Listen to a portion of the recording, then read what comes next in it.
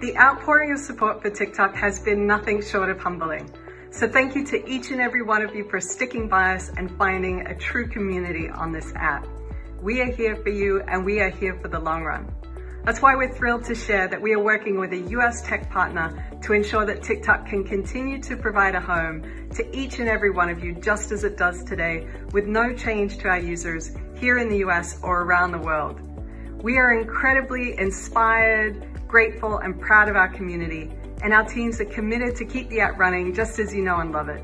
So continue to share your daily moments that bring us all so much laughter, connectivity and joy. We are TikTok we are on this journey together and we are just getting started. Thank you.